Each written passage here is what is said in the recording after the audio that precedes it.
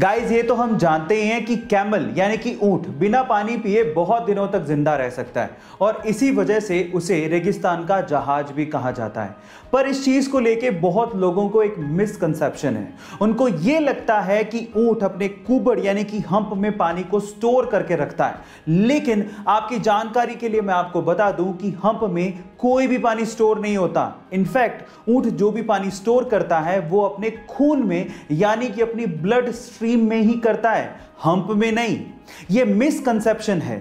और इसके अलावा एक छोटी सी जानकारी और दे दूँ। जब आप ऊँट को पानी पिलाते हैं तो वो एक बार में 20 गैलन यानी कि 75 लीटर पानी पी जाता है।